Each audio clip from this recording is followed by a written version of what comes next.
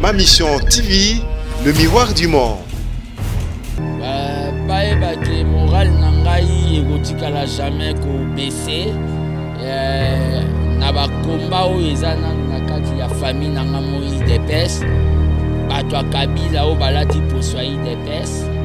eh, bakobimaka kala te na mpwasa bango nde bavandelaki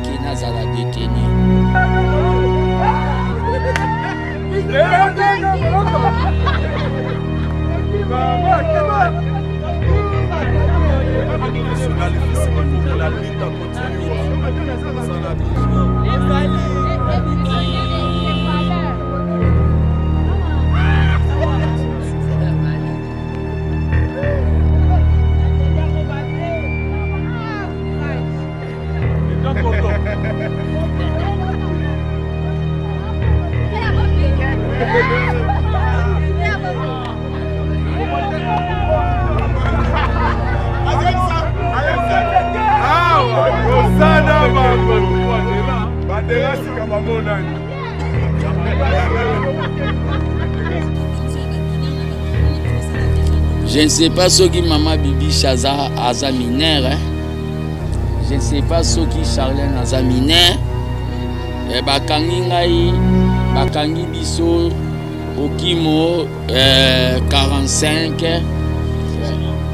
na junior cordo alingwala ya barumbu je ne sais pas soki aza mine eza baaccusation quand on vient noyer une bouche de la vérité Une bouche pour un état de droit, on l'accuse de tous les mots. bakoakizaka nga nde baakizaka tisekedi ke aza oyo abelaka maladi ya motu eza baakization quand on vient noyer une bouche de la vérité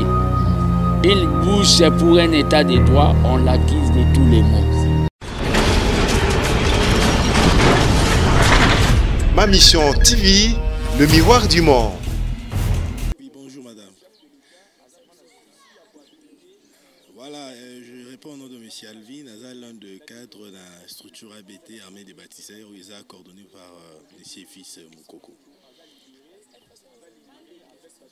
Bon, en tout cas, euh, nous sommes émaillés de joie, très contents, satisfaits.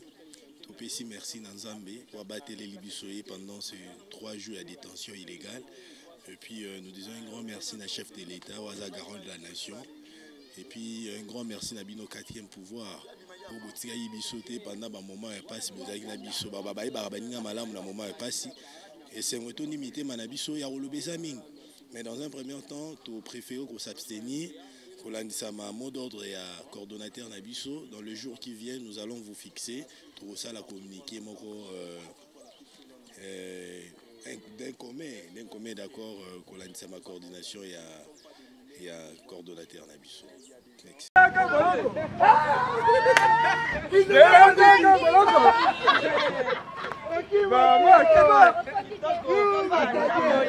national fisi mokoko la lutte continua oza na bino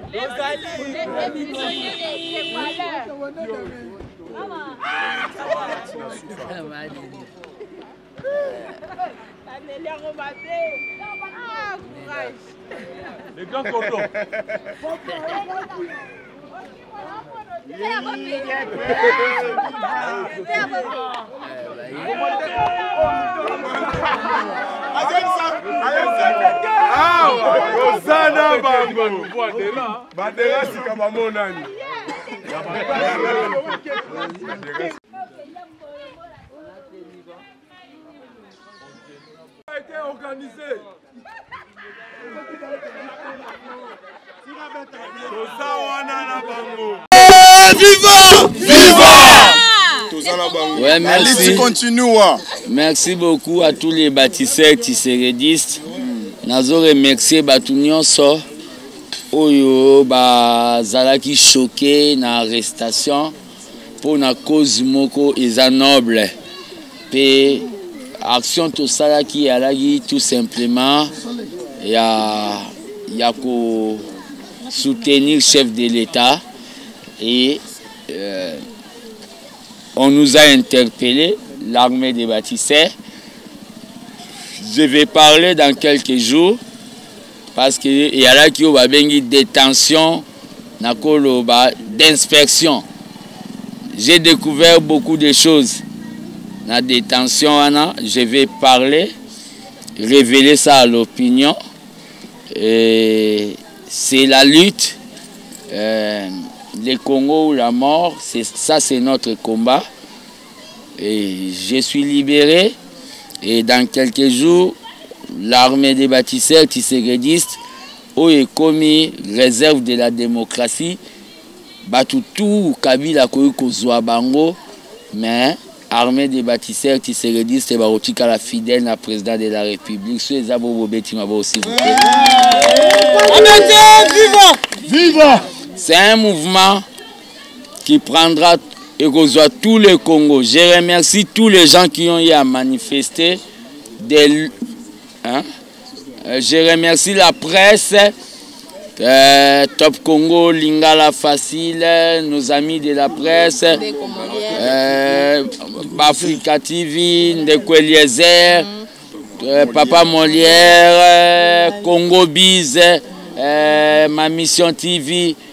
eh, eh, donc eh, bosolo na politique eh, eh, congo live tous nos amis de la presse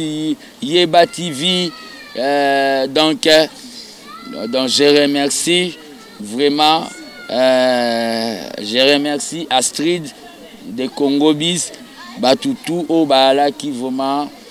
motive na komba oyo oh. Eh, combat oyo tozosala on ne veut pas créer les désordres des manifestations eza oyo eza voix epermetaka na peuple a s'exprimer tolingi kaka bonne gouvernance donc euh, les rendez-vous c'est dans quelques jours que, en attendant que le comité national euh, des, des bâtisseurs eh, basereni mpo toyeba ndenge nini tokoloba vraiment Euh, ingeta, ingeta, ingeta, merci. Abete, viva! Viva! Abete, viva! Viva! Abete, viva! Viva! Viva! Viva! Le Congo ou la mort! Ouais, ouais, il...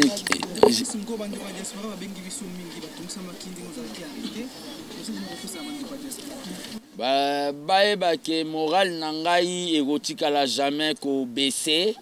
eh, na bakomba oyo eza nanu na kati ya famille na nga mo idps bato ya kabila oyo balati poso ya idps eh, bakobimaka kala te na mpwasa bango nde bavandelaki ke nazala deteni donc eh, eh, nazoyebisa bandeko ya diaspora le jour que je vais lancer encore un, un mot d'ordre ezala simultané na Congo pe na diaspora parce que ici on peut m'arrêter mais là-bas baza na oyo babengi le respect de, eh, ya ba liberté ya bato bazala moral napesi mbote na bamama nyonso ya diaspora napesi mbote na bato tout oyo euh, na remercier mama chantal conseiller spécial ya chef de l'état chargé ya jeunesse Mpo na appui na ye, soki bomoni conseiller special ya chef de l'Etat a soutenir action, c'est que naza libanda masolo te. Ba egyptiens nionso boomona na kati ya udps mokolo bakozwa ba poste bokoyoka bango susu baoloba te non bon l'udps te ekokoma nde salaire na bango.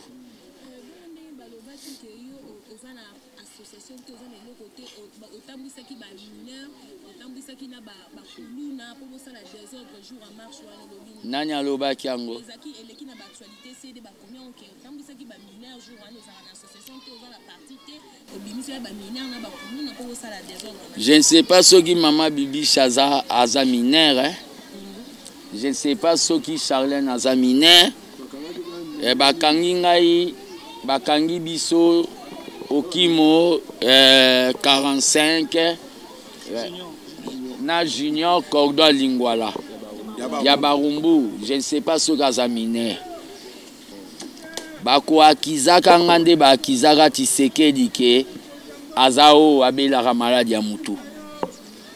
bako akizaka nga de beaucoup de choses mais le peuple bayeba kaka soki nga naboya kosala pendant 5 ans au moment naza na 98 pourcent ya chance ya kosala bayeba ke eza mpo na intere ya peuple je suis le gardien du temple mais na komba oyo naosala naza oyo babengi la sentinelle de la république on est là on sera là toujours baempoisonnement bazoloba oyo bazokanisa na nkombo ya nzambe ya lola ekotikala kosimba te donc le problème eyali komba oyo naosala vous voyez ma famille c'est une famille modeste je suis d'une un, famille pauvre je suis en train de lutter pour les pauvres congolais j'ai dit et je vous remercie le rendez-vous est fixé prochainement merci, merci. ya saint après toya kosala tosisa na bango esalisi minute esalisi minute